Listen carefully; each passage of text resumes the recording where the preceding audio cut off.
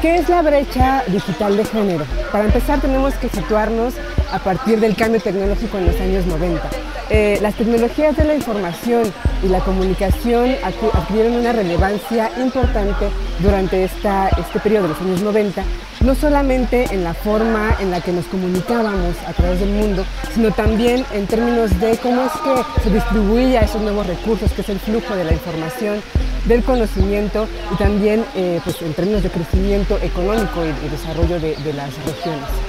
Eh, justamente ante este escenario donde se creaban nuevas sociedades de la información y el conocimiento, es que empieza a haber una preocupación por integrarse eh, pues en esta nueva construcción, donde la nueva moneda era la información, era el conocimiento, donde había grandes posibilidades de desarrollo para los países.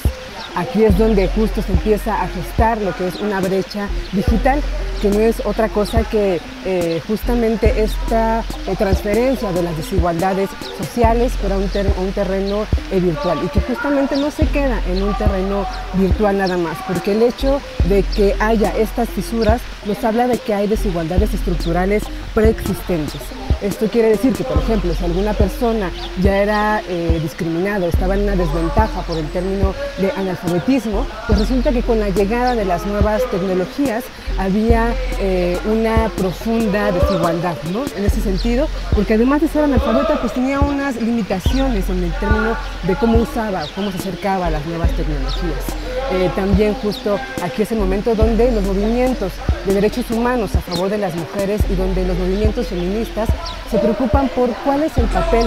de las mujeres en estas nuevas sociedades considerando que había pues todo un bagaje histórico y social donde la participación de las mujeres en los campos tecnocientíficos eran o invisibilizados o eran simplemente rechazados. Con un, eh, bueno, lo que hacía eh, que esto pareciera así es que había un pensamiento social que decía que las mujeres no tenían la misma destreza que los hombres para desarrollarse en estos campos. Un pensamiento que se perpetúa eh, por la educación y por mecanismos informales que repelen a las mujeres de estos campos que son considerados masculinos. ¿Y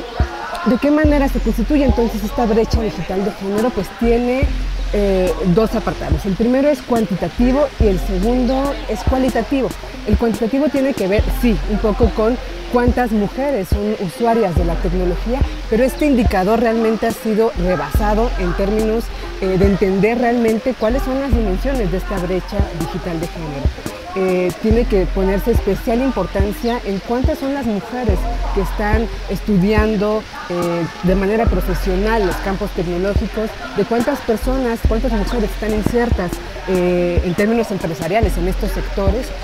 y también en términos cualitativos se trata de vislumbrar cuáles son los usos que les dan las mujeres, las frecuencias de estos usos, también qué contenidos consumen y qué contenidos producen. Esto es lo que determina pues, la brecha digital de género y el impacto que se tiene para las mujeres de no estar en esta construcción de, de estas sociedades de información y conocimiento es que hay desventajas en términos del crecimiento económico.